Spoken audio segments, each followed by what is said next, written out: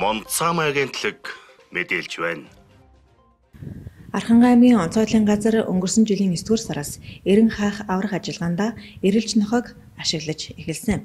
Тус албаны эрэлж нохойг Коби гэдэг за үүрэг гүйцэтгэж эхэлснээс хойш 3 удаагийн эрлийн ажиллагаанд оролцож эрлээ амжилттай олжээ. За энэ удаад өндөр хөлн суманд сураггүй алга болсон хүүхдийг 25 минутын дотор эсэмэнд олсон байна. Тодорхойлбол энэ сарын 6-ны шөнийн тэг 2 цагт Архан аймгийн онцгой айлын газрын 7033 105 дугаард өндрүүлэн сумын Баянгол багт 14 настай хүүхэд алга боллоо гэсэн дуудлага ирсэн байна. Дуудлагын дагуу онцгой айлын газрын эренхах аврах салбарын албан хаагчид дуудлага өгсөн газарт очиж ажиллажээ. Эрлийн ажиллагааг өглөө 6 цагт эхлүүлж, эрэлж нохой тухайн хүүхдтэйгээ 25 минутын дотор гэрээсээ 8 км-ийн зайд төөрсөн багт нь олсон байна. Эрэлж нохой тус аймгийн онцгойлын газрын эрен хаах аврах салбарын аврагч ахлагч Пүрүүдэржийн удирдлагын дор үүрэг гүйцэтгэдэг байна.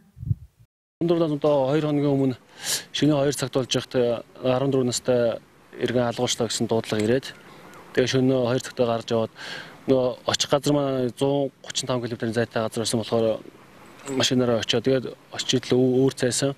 Тэгээд тухайн газараа очиод нөгөө тухайн хүүхдийнхаа алуулсан иргэнийхээ говцыг өнөрлүүлээд гэрийнх нь гаднаас ирээд гэсэн командаар ажилласан. Тэгэхэд нохоо маань тухайн үнэрээ чээл чэжлж аваад тэгээд тухайн хүүхдийг хаашаа хаашаа ямар зүгт алгуулсан гэдгийг нохоо маань араас нь мөрдөж яваад тэгээ олсоо. 7 8 км шах газар яваад олсоо. Онцгойлын ерхий газраас өнгөрсөн онд эрэлж нохойг ашиглан эрен хаах аврах ажиллагааг зохион байгуулах зорилгоор 6 сарын сургалтыг зохион байгуулсан. Тус сургалтанд Коби нохой өөрийн хөтлөгч Пүрүд Оржин хамт хамрагдаж эрен хаах аврах чиглэлээр бэлтгэгдэжээ. Эрэлж нохой Коби 2019 оны 9 дугаар сараас үүрэг гүйцэтгэж эхэлсэн бөгөөд өнөөдрийн хүртэл дөрвөн эрлийн ажиллагаанд үүрэг гүйцэтгэж эрлээ бүгдийг нь олсон байна.